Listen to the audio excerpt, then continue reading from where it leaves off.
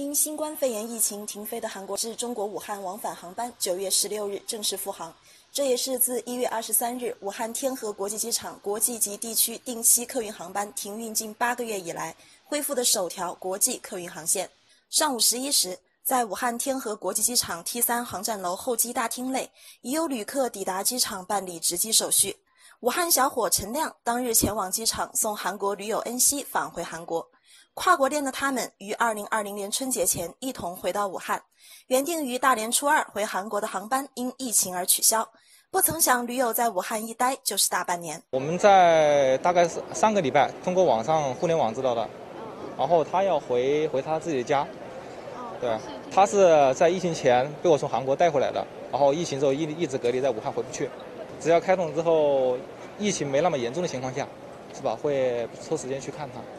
陈亮称，办理乘机手续非常方便，只需要提前做核酸检测，提供英文版纸质报告，并且在登机前十四天连续逐日填报防疫健康码国际版。一是核酸检测，第二个是十四天的那个国际防疫健康码，都是绿色的就可以了。其实核酸检测你第一天做，第二天就下来了，就跟医院说一下要个英文版的，他就会给你。一般武汉市的各大医院都可以做。韩国德威航空公司中国事业部副总经理李泰官介绍。该公司原计划二零二零年一月二十一日新开通武汉至韩国航线，因为疫情原因暂时搁置。在此期间，公司一直关注中国及武汉当地疫情防控形势，并于第一时间提交航线开通申请。武汉地区、湖北这个地区的话，韩国企业企业也挺多的，呃，所以呢，这商务人员啊，那些呃留学生，可能需求很多。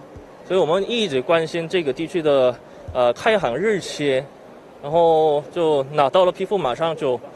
开开航了。记者在现场看到，飞机抵达机场国际进港航班专用停机位后，现场防疫人员对廊桥、舱门以及托运行李等进行消杀。所有旅客经专用通道抵达检测点，完成相关筛查及入境手续后，由各区安排转运车辆。送至指定酒店进行为期十四天的集中医学观察，国际旅客全程与机场其他航班旅客不发生混流。入境人员肯定实行的是全流程。的集中健康监测和防疫管控，航班必须到达指定的专用停机位停放，在一个封闭的通道里，由航空公司引领入境旅客下飞机，到海关指定的检测点进行体检，健康筛查异常的人员，当即就会由机场海关转交当地的卫健部门，到指定医院进行诊治。如果是健康筛查正常的旅客，可以正常办理入境手续，转接到各个区的隔离点，进行为期十四天的集中医学观察。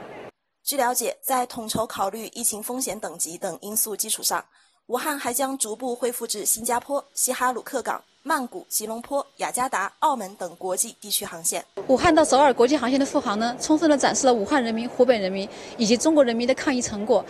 是我们对外传播中国抗疫经验和做法的最直接、最有力的证据。同时呢，有利于加速推进武汉复工复产的进程，提振世界各国对武汉。社会经济发展的信心，重新扭转和定义武汉的城市形象。